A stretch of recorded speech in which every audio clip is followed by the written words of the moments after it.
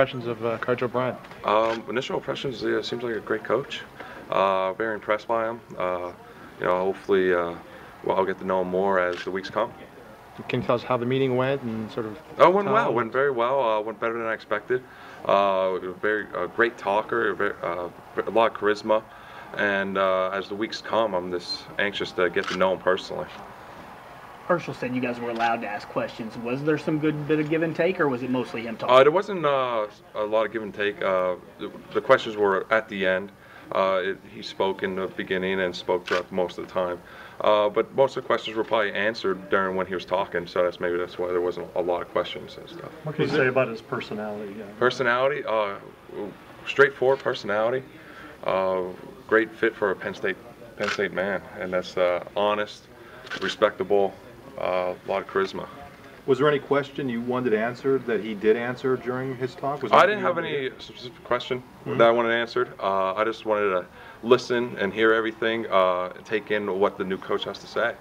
And I think by him talking and, and showing uh, his personality and who he is, uh, showed that very well. You guys were kind of hanging there for a couple months wondering who your next coach is going to be. What is it like to finally have some closure? Right. It definitely it definitely is closure. Definitely is uh, st- stability and knowing that who your coach is going to be. That's definitely a, a better feeling you have when you go to sleep at night, knowing what your future is going to be. To, to the most part, you know, I still have to know Coach O'Brien personally and everything, and he'll know me personally.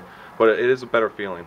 It is. Do you have a sense for the stability of the team? I know some guys were wondering if they might transfer or that sort of thing. Overall, do you have a general feeling that most guys are going to stay, that sort of thing? Um, no one was talking to me about that. I know I'm staying, of course. I'm, I'm a Penn State man myself, so uh, no one talked to me about that. I hope everyone stays, but uh, people, you know, are going to do what they have to do. But I'm staying, and I hope everyone else stays. to have a coach come from the NFL where he's had a lot of success, how much how much of a benefit do you think that is not only for the current players that maybe recruits would uh, be enticed by Oh, with for him? yeah, exactly. With uh, any coach from the NFL is is definitely a privilege to even play for, uh, to even be coached by. So I think it's going to be fantastic for our offense, fantastic for our team in general to have a coach from the NFL.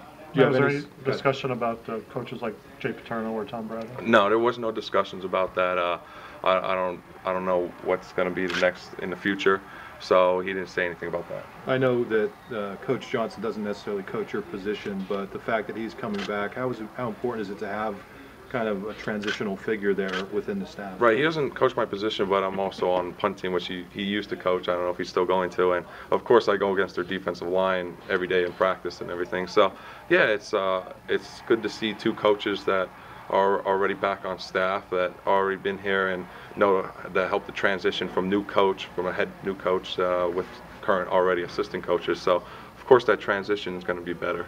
How much did you know about Coach O'Brien before his name came up the last several days? Uh, I didn't know too much. Uh, I did. I kind of did. I kind of stood out of the uh, the coaching uh, recruitment. I guess the word is. I, I, I kind of you know didn't didn't get too involved in it because it was out of my hands. I had nothing to do with it, you know. So I just I was focused on Houston at the time. I was focused on playing football and focused on lifting weights and getting better for the next season. Well, I was just talking about his, So- expe- you know, his, Yeah. his coaching abilities. Uh, I didn't. I didn't know much about him. No, yeah. Do you watch the Patriots much? Are there many guys on the on the team who, who follow the Patriots closely? Uh, yeah, I assume there's some guys on the team that uh, Patriots are number one, number one team, but yeah, I, I, I like the Patriots. Yes. stuff. Thanks, man. Thank you, man.